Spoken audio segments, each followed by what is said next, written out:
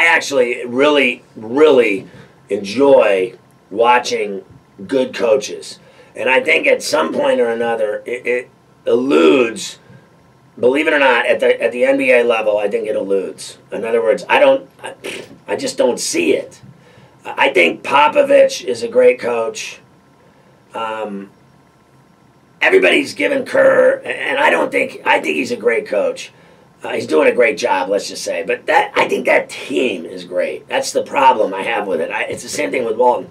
If you have a team so talented, so loaded, so deep, so everything, they have literally an entire bench filled with, with guys that can start, right? They're as deep as possible. But they give him all the credit, Shep. They give and I got 30 seconds. They give Kerr all the credit that he's this genius. I just don't buy it.